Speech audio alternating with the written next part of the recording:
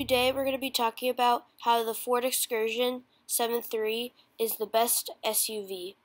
Okay, let's look at this 2000 Ford Excursion. We're on Auto Tempest for $26,000. 7.3, 4x4, 136,000 miles. 2000 Ford Excursion. Here are the specs.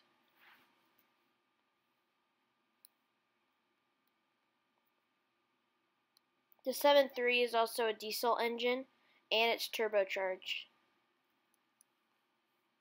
Unless you have an early 90s one. Ford, four-wheel drive.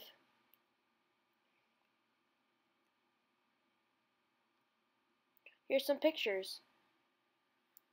A lot of Ford Excursions have brake dust on them. This one looks like it got cleaned up though.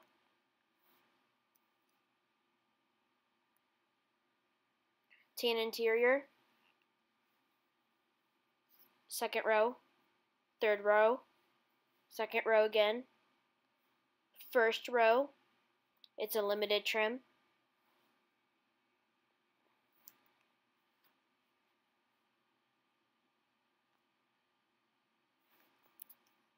Let's look at more excursions. Let's look at this 2002 for $19,000.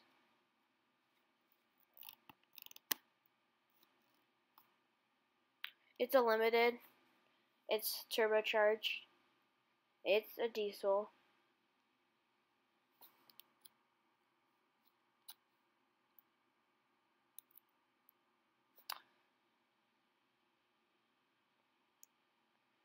It looks like a tan tan color outside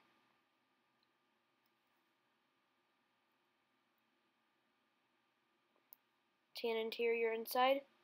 You can see in 2002 they updated the dash.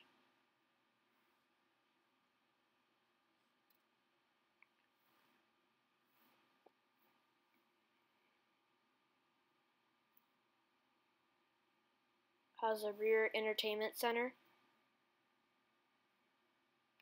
Now, Daniel Jaeger Films is a small YouTube channel. He's been making Ford excursion videos since he was a teenager.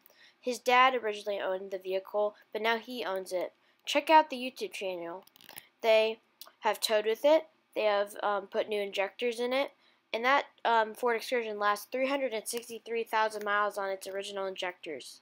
I'll have a link in the description for the YouTube channel. All these good reviews. These are a lot of good reviews about the Ford Excursion 7.3 diesel. There are reviews talking about how bulletproof it is. There are reviews talking about how um, durable it is. There's a very big reason why I say 7.3 diesel because a Ford Excursion past 2003 had the 6.0. Those head gaskets on the 6.0 pop like popcorn. Also, um, the oil filters are really complicated and it's just really unreliable. So that's why you need to get something um, before 2003. And but the 7.3 is bulletproof. Towing with the Ford Excursion is a breeze. It could tow to 12,000 pounds.